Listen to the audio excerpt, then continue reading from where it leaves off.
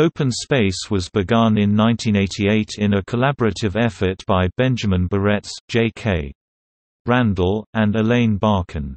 Inspired by the publications of Kenneth Gaburo's Lingua Press whose graphical presentation was far from the typically institutional look of some academic music publications, Open Space began to represent the real-time soundmaking sessions in and around Bard College and Princeton University.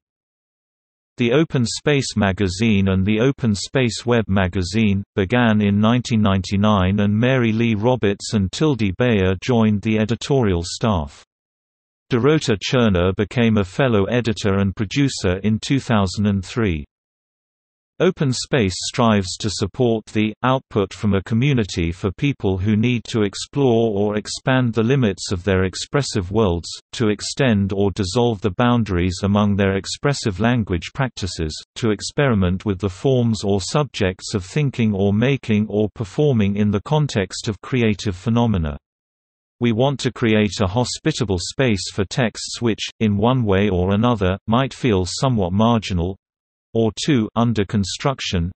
For other, kindred publications, when editors Dean Rosenthal, John Forshee and Arthur Margolin joined in the late 2000s, Open Space strove to create a purely digital version of the Open Space web magazine allowing them to stream multimedia, along with notes, scores and various other kinds of contributions. In September 2011, Open Space was selected to participate in the Free Music Archive.